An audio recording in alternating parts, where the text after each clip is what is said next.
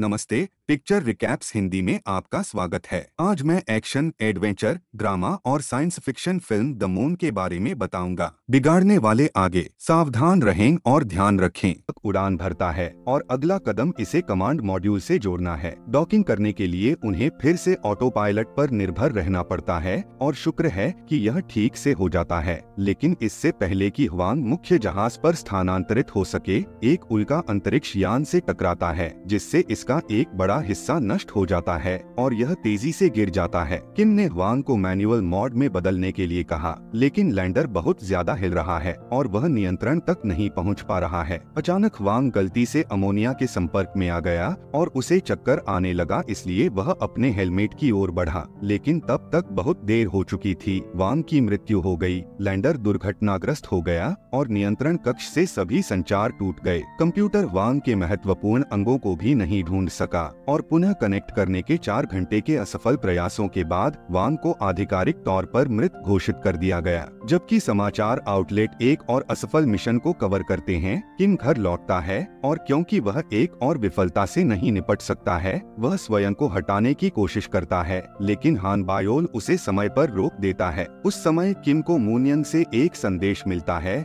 जिसमें बताया गया है कि हुआंग अभी भी जीवित है, जिसे वह जानती है क्योंकि नासा के स्टेशन ने उन रेडियो संदेशों को रोक लिया है, जिन्हें हुआंग अपने अंतरिक्ष स्टेशन पर भेजने की कोशिश कर रहा है। मूनियन किम को आवृत्ति तक पहुँचने के लिए कोड भी देता है, इसलिए वह और हानबायोल वेदशाला से कुछ पुराने उपकरण लेने के लिए दौड़ पड़ते हैं और वांग के एसओएस संदेश को सुनने का प्रबंधन करते हैं। हानबियोल ने तुरंत इसे रिकॉर्ड करना शुरू कर दिया, जबकि किम ने वांग से उसकी स्थिति पूछी, उसे पता चला कि उसके पास ज़्यादा शक्ति या ऑक्सीजन नहीं बची है, और उल्का मुलाकात अभी भी जारी है। किम उसे मदद का रास्ता ढूँढने तक लैंडर में रहने के लिए कहता है और उसी समय एक हेलीकॉप्टर दिखाई देता है। पता चला कि हान बायोल ने एक आपातकालीन सेवा को फ़ोन करके कहा कि किम दिल का दौरा पड़ने से मर रहा है, इसलिए उसे जल्दी से उठाया जाएगा। हेलीकॉप्टर किम को वापस कासा मुख्यालय ले जाता है, जबकि हान बायोल यूट्यूब पर वांग का एसओएस संदेश पोस्ट करता है, जो तुरंत वायरल हो जाता है। जबकि वांग के पास जो कुछ भी उपलब्ध है, उससे उस उसके घावों की देखभाल करने की पूरी कोशिश करता है। हानब्योल कॉम के माध्यम से उससे बात करके उसका साथ देता है। हालाँकि वह उसे तभी परेशान करती है, जब वह उसका अत्यधिक विश्लेषण करती है, जैसे कि वह उसे सिर्फ़ इसलिए जानती है क्योंकि उसने कुछ ऑनलाइन लेख पढ़े हैं। वायरल हो रहे ऑडियो की बदौलत दुनिया भर के लोग वांग का समर्थन कर रहे हैं और नासा पर मदद भेजने का दबाव बना रहे हैं। नासा के उच्च अधिकारी यह जानना चाहते हैं कि जानकारी किसने लीक की और उन्हें तुरंत मुनियन पर संदेह हो गया। लेकिन इससे पहले कि वे उसके फ़ोन की जाँच कर सकें, उन्हें व्हाइट हाउस से एक कॉल आती है। कासा के बहुत सारे काम के बाद वे लैंडर के साथ फिर से संचार प्राप्त करने में कामयाब रहे। हालाँकि मंत्री खुश नहीं है। उन्होंने कहा कि जनता की नज़र में हुआंग को पुनर्जीवित करने का कोई मतलब नहीं है। अगर वे उसे बाद में फिर से मार देंगे क्योंकि वे उसे वापस नहीं ला सकते। अचानक उल्कापात बदतर होने लगता है और किम हुआंग को सुरक्षित स्थान पर ले जाना चाहता है।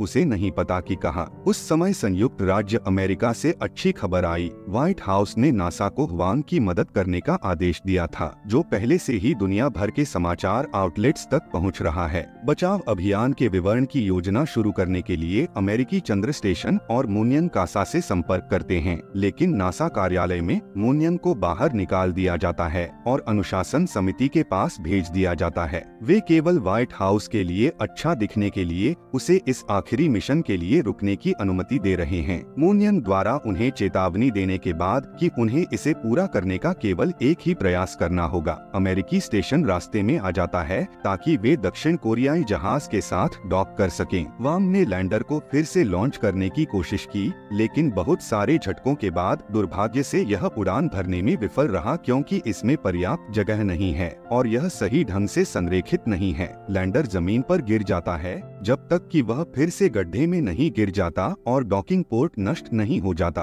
अमेरिकी स्टेशन ने घोषणा की कि वे वेग बनाए नहीं रख सकते और अब और खड़े नहीं रह सकते। इसलिए मूनियन के पास बचाव अभियान रद्द करने के अलावा कोई विकल्प नहीं है। हताश किम हुआंग को लैंडर को आगे बढ़ाने के लिए कुछ विचार देने की कोशिश करता है, लेकिन हुआंग ने हार मान ली है और ऑक्सीजन आपूर्ति सहित सभी प्रणालियों को बंद कर दिया है। किम हुआंग को अपने पिता की तरह नहीं बनने के लिए कहने की कोशिश करता है, लेकिन वांग उस क्षण का उपयोग कबूल करने के लिए करता है कि उसने अपने पिता की इच्छा की सच्चाई देखी है। यह पता चला कि उनके पिता को पहले चंद्रमा मिशन से एक महीने पहले पता था कि इंजन में खराबी थी और फिर भी उन्होंने मिशन पर जाने का फैसला किया क्योंकि वह सफलता के भूखे थे। हालाँकि किम ने उसे टोकते हुए कहा कि उसे पूरी कहानी नहीं पता है। किम ने वांग से अपने पिता को माफ़ करने के लिए कहा क्योंकि यह उसकी गलती नहीं थी, लॉन्च से एक दिन पहले उसके पिता ने किम को दोषपूर्ण इंजन के बारे में बताया और दो महीने की देरी के लिए कहा, लेकिन चूँकि दुर्घटना की संभावना न्यूनतम थी, इसलिए क्रोधित किम किसी भी तरह प्रक्षेपण को आगे बढ़ाता रहा क्योंकि मिशन को इतनी बार स्थगित किया गया था कि वह इसे दोबारा नहीं कर सका।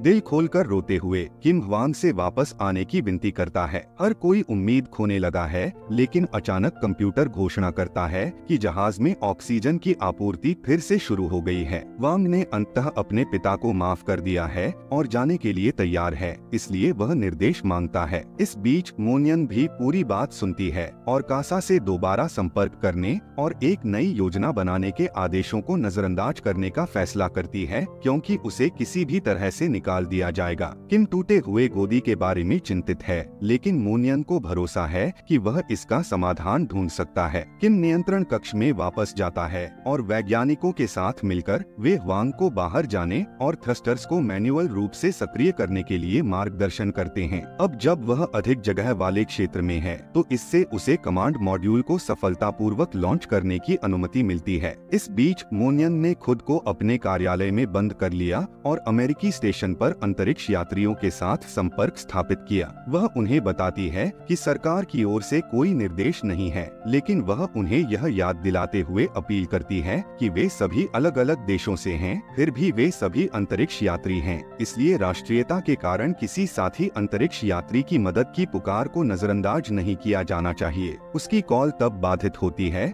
जब उच्च अधिकारी अंत कमरे में घुसते हैं और उसे ले जाते हैं वांग वापस आकर उसने देखा कि जहाज़ चंद्रमा के उज्जवल पक्ष तक पहुँच रहा है लेकिन लैंडिंग असंभव होगी इसलिए वह एक योजना बनाता है अन्य अंतरिक्ष यात्रियों से सारी यादें बटोरने के बाद वह ड्रोन को अपने शरीर के चारों ओर बाँध लेता है। किम ने उसे हैच खोलने और कूदने का आदेश दिया और बहुत झिझक और डर के बाद वांग लॉन्चर से उतर गया। वह कई मिनट तक इधर उधर तैरता रहता है और एक बार जब वह सतह के काफ़ी करीब आ जाता है तो वह ड्रोन को सक्रिय कर देता है, जो उसे ज़मीन पर गिरने तक थोड़ा हिलाता है। संचार अचानक टूट जाता है और नियंत्रण कक्ष में हर कोई यह मान लेता है कि कुछ बुरा होगा। उस समय अमेरिकी स्टेशन ने घोषणा की कि वे बचाव कार्य को अंजाम देने के करीब आ रहे हैं। शुक्र है कि ड्रोन अभी भी काम कर रहा है और जागने पर वांग का चेहरा रिकॉर्ड करने में कामयाब रहा है इसलिए वह संदेश सुनता है और बचाव दल को अपने निर्देशांक भेजने में कामयाब होता है। कुछ ही क्षण बाद अमेरिकी दल द्वारा हवांग की देखभाल की गई तस्वीरें हर समाचार आउटलेट तक पहुँच गईं और दुनिया भर में हर कोई जश्न मना रहा है। इस सफलता के बाद कसा निदेशक चाहते हैं कि किम अपनी नौकरी पर वापस आ जाएँ, लेकिन किम इससे इनकार कर देते हैं और अपनी वेधशाला में लौटने के लिए चले जाते हैं। जब वांग दक्षिण कोरिया लौटता है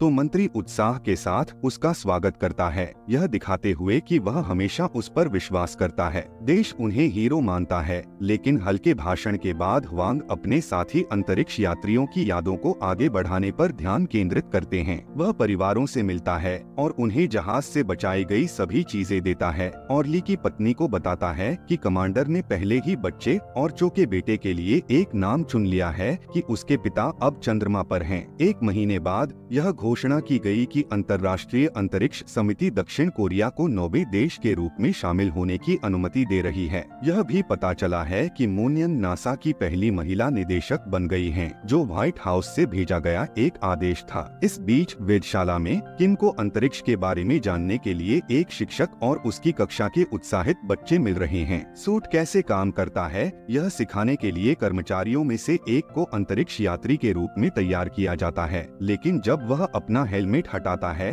तो किम यह देखकर चौंक जाता है कि यह वांग है। दोनों व्यक्तियों ने एक साथ जो कुछ किया, उसके लिए सम्मान में सलामी साझा की। इस तरह के और वीडियो के लिए सब्सक्राइब करें, नोटिफिकेशन चालू करें और चैनल की मदद के लिए एक लाइक छोड़े। देखने के लिए धन्यवाद।